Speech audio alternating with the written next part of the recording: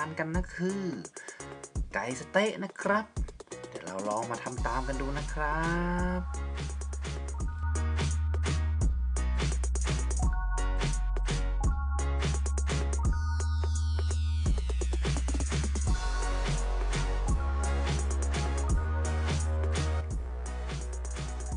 ขั้นตอนต่างๆก็ไม่ยากเลยนะครับเพราะเรามีตัวช่วยอย่าง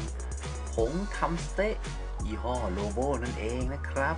ลองมาเตรียมอุปกรณ์แล้วก็ทำตามกันเลยดีกว่าครับ สวัสดีครับ เพื่อนๆชาว FoodSter นะครับ เรากลับมาเจอกันอีกแล้วนะครับ วันนี้ผมก็มีวิธีการทำอาหารแบบง่ายๆเลยนะครับ มาแนะนำเพื่อนๆนะครับเดี๋ยวนี้นะครับการทำอาหารหรือการเข้าครัวเนี่ยนะครับนอกเหนือจากที่เราประกอบอาหารเองแล้วเนี่ย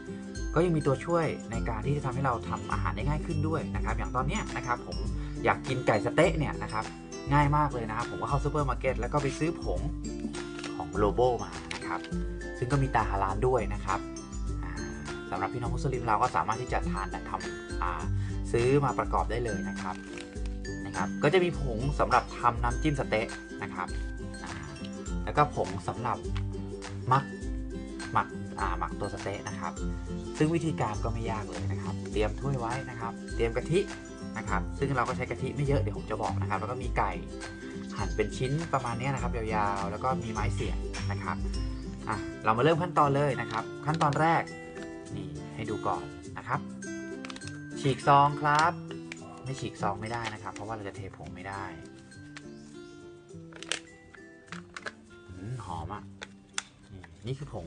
ที่ไว้สำหรับหมักตัวเนื้อเนื้อไก่นะครับ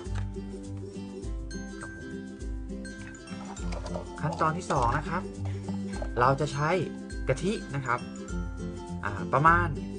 60มิลลิลิตรนะครับหรือ1ส่วนส่วน4ถ้วยตวง ซึ่งผมมีที่ตวงไว้อยู่แล้วนะครับ ซึ่งจะพอดีกับไก่ครึ่งกิโลนะครับ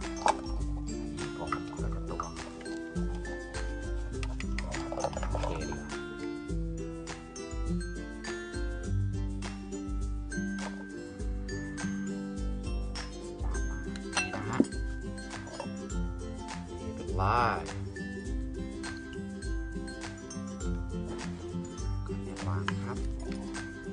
เราก็ใช้ช้อนเนี่ยคนตัวผงสเต็กกับกะทิเข้ากัน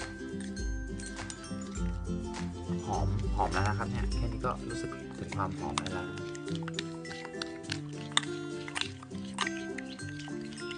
ใช้เวลาทำไม่นานนะครับ ไม่กี่นาทีก็ก็สามารถที่จะหมักในส่วนของไก่ได้แล้ว ซึ่งการหมักไก่เนี่ยก็ใช้เวลาในการหมัก 1 ชั่วโมงอะไรนะครับ ได้หมดนะครับ 1 ชั่วโมง ถ้าอยากให้เข้าเนื้อมากขึ้นก็ชั่วโมงครึ่ง แล้วแต่อ่าเริ่มเข้าแล้วนะครับ นี่ครับเรียบร้อยแล้วนะครับ ตัวผงสเต๊ะกับตัวกะทิของเราก็ละลายได้ที่แล้วแล้วก็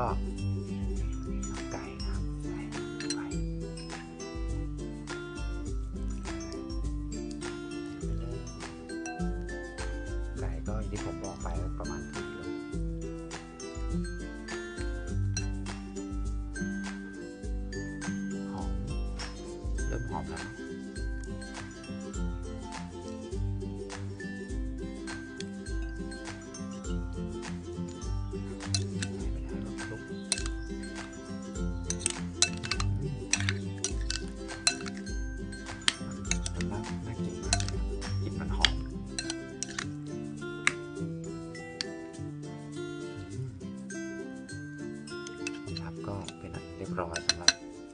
ไก่หมักสเต๊ะนะครับ เดี๋ยวเราก็ทิ้งไว้ประมาณ1ชั่วโมง แล้วเรามาเจอกันนะครับ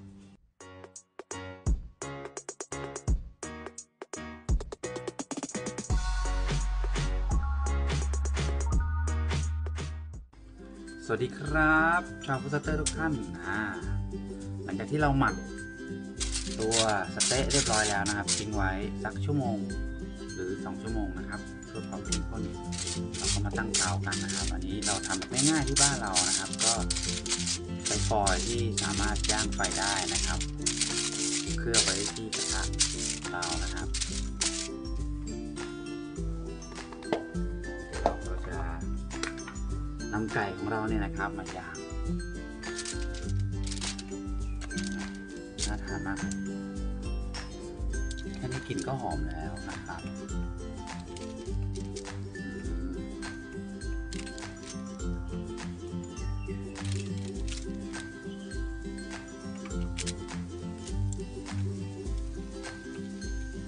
น้ำที่เหลือจากการหมักเนี่ยนะครับ เราก็สามารถที่จะเอามาต้มไก่เพื่อความชุ่มชื้นได้นะครับ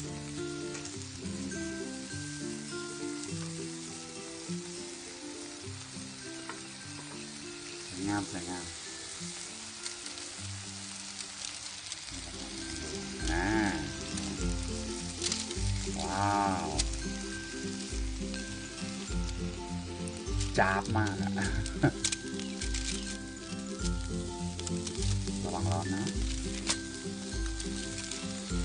ใช้ไฟไม่ต้องแรงมากนะครับ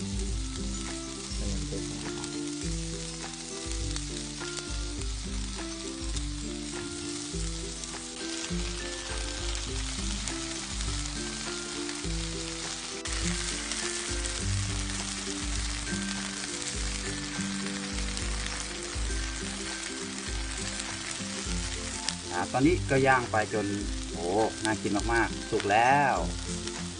น่าจะสุกแล้ว ก็จัดจานกันเลยนะครับเพื่อความปลอดภัยนะครับมน่ากินจังดูก่อนดูก่อนดูก่อน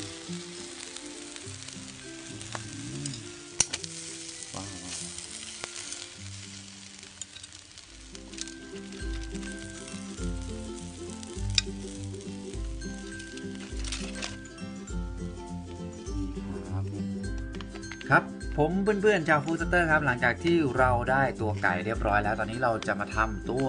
น้ำจิ้มสะเต๊ะนะครับโอเค ก็ไม่ยากนะครับ เราอ่านวิธีทำตามซองได้เลยนะครับ อันนี้ผมอ่านทำความเข้าใจมาเรียบร้อยแล้วนะครับเดี๋ยวทำตามผมแล้วกันนะครับเทผงทำน้ำสะเต๊ะลงไปในหม้อ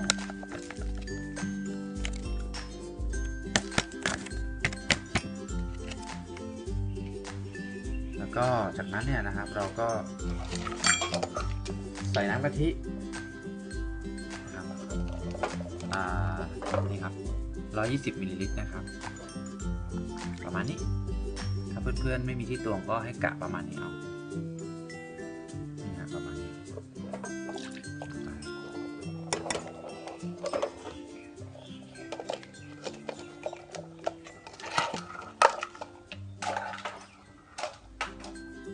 ครับผมจากนั้นเนี่ยนะครับก็ใส่น้ำมันพืชนะครับ 1 ช้อนโต๊ะนะครับ คนให้เข้ากัน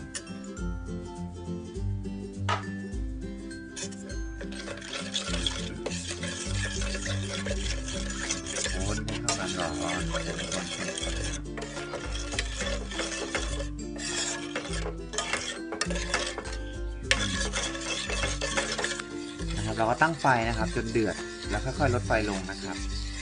น่าใช้เวลาประมาณ 5 นาทีนะครับ ตามคู่มือ อันนี้เราก็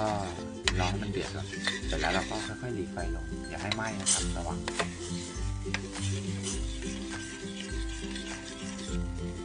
จะลดไฟลงแล้ว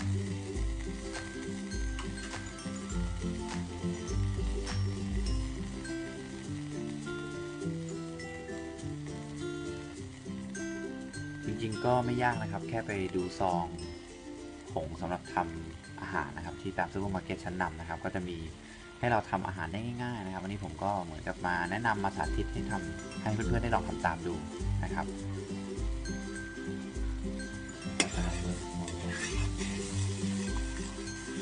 โอ้เริ่มเริ่มเริ่มได้แล้วครับเห็นเดือดปุดๆอย่างนี้ก็แสดงว่าเสร็จเรียบร้อยแล้วนะครับ เดี๋ยวเราก็อ่าทำอาจารย์ แล้วเราก็จัดจานเลยนะครับ อาจารย์ครับอาจารย์มาแล้วนะครับ ก็นี่ฮะเราหั่นหอมแดงนะครับพริกขี้ฟ้าแล้วก็แตงกวานะครับ วิธีการทำก็ไม่ยากนะครับ ผมทำเลยแล้วกันเนาะจะได้เร็วๆปั๊บเอาทุกอย่างไปรวมกันเลยนะครับแตงกวานะครับ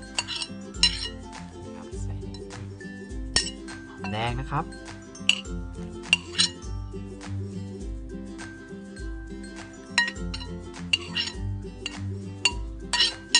ก็พริกชรีฟรานะครับ เราได้เรียบร้อยแล้วนะครับแล้วก็ใส่น้ำเชื่อมลงไปนะครับ น้ำเชื่อมใส่ไปเลย แล้วก็น้ำส้มสายชูนะครับ ใส่ไปเลยกะเอาประมาณสัก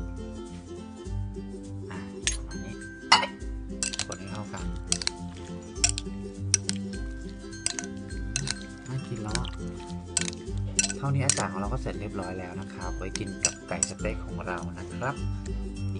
ง่ายนะครับ